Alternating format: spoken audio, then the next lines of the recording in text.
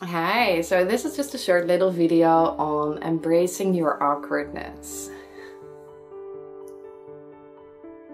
While we go through life, there are so many situations that make us feel socially awkward, right? And all that really means is just that you're getting comfortable with something new. And that's not feeling comfortable, but you'll get there. So it's not that bad.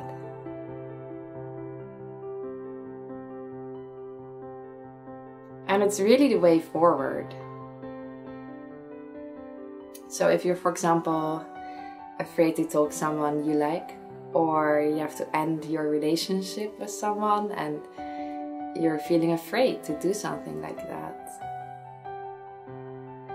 The best might be just to take that jump to push yourself into that bit of awkwardness. And you know, in the beginning when we're not comfortable with a lot of lot of things in relationship with other people, like maybe setting boundaries or voicing your desires, ending a relationship, talking to someone new, um, expressing your negative feelings, um, just to name a few examples of things that so many of us face um, often. Well, not ending a, relationship probably, but you know, um, it can be quite awkward to say no to someone or to um, to do something like that. And really, the way forward is to embrace that awkwardness, to just say yes to it. It's like okay, here's the situation. I don't know how to navigate this without starting to feel really uncomfortable, but I know what is the best thing to do, and yes, you do.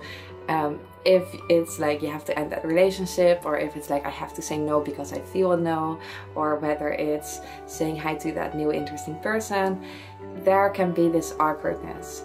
And we know that we want to do the thing that will make us feel awkward, and we don't want to feel the awkwardness. So you and I both know that you actually want to go through it.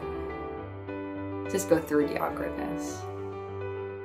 And just embrace it as a feeling that is telling you that you're getting comfortable with something new. And it won't be forever. You won't feel awkward forever. It's just a little, a little scary moment.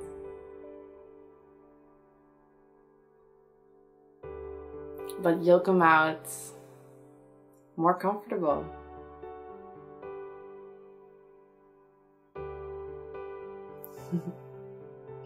so just um,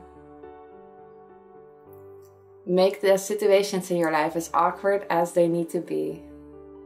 Be as awkward as they need to be.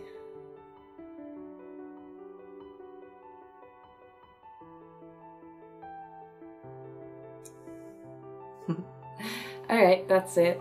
And if you have specific problems with saying no, I actually made a lesson on stopping people pleasing. Um, so you can find that free lesson on my website. I will place the link in the description box or just down below this video. You're very welcome to take that free lesson with me if you want to get good at setting boundaries, saying no, declining offers or invitations. Um, if you want to stop doing things that you actually don't want to do. In any case, um, I wish you a very good week or day or or whenever next time we'll see each other again. And I would love to see you next time.